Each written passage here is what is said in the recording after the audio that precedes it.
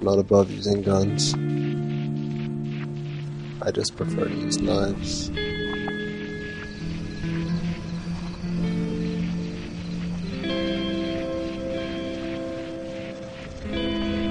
Living a life is delicate.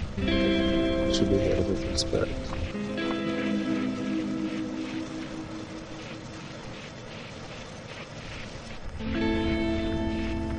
It's the least I can do.